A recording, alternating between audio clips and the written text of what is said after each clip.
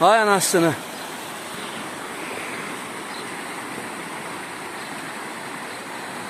Yakın tarihte böyle bir su- görmedi Gündolaması köyü.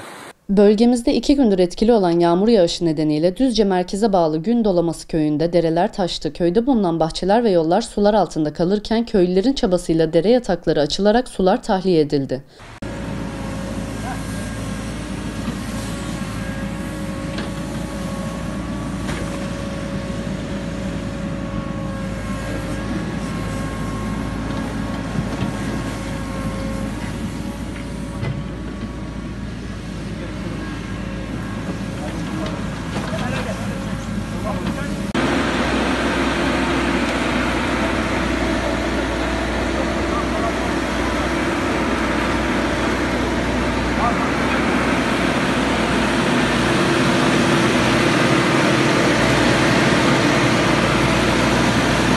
Düzce'de iki gündür etkili olan ve gece sabaha kadar devam eden sağanak yağış Gün Dolaması köyünde su baskınlarına neden oldu.